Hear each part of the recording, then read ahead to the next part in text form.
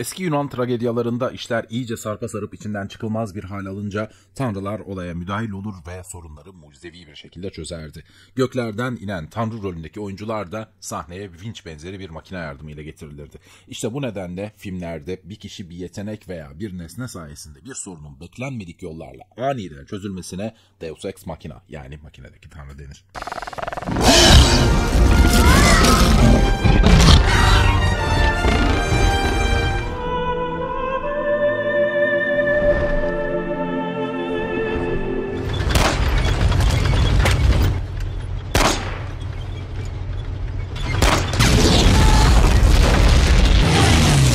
Ama makineden illa tanrı gelecek diye de bir kural yok. Bazen şeytan da gelebilir ve buna da Diabolus ex machina denir. Hey, remember me?